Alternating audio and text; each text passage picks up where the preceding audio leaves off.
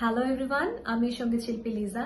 আহ, শামীমুর রহমানের কথায় এর আগে আমি ঈদ মোবারক শিরোনামে একটি গান করেছিলাম গত বছর ঈদে এবং এই গানটি সকলের কাছ থেকে এই গানটির জন্য প্রশংসা পেয়েছি। আর লাইট এন্টারটেনমেন্টের ব্যানারে এবার বেশ সুন্দর কিছু গান রিলিজ হতে যাচ্ছে সাথে কিছু জমজমাট গানও আছে। তো এই ব্যানারের সাথে সংশ্লিষ্ট সবাইকে আমার পক্ষ থেকে ঈদের অনেক শুভেচ্ছা জানাতে চাই। আর সবাইকে বলতে চাই ঈদ সবার আনন্দে কাটুক লাইট এন্টারটেনমেন্টের সাথে। முபாரக் ஏ முபாரக் ஏ முபாரக் ஏ முபாரக் ஏ முபாரக்.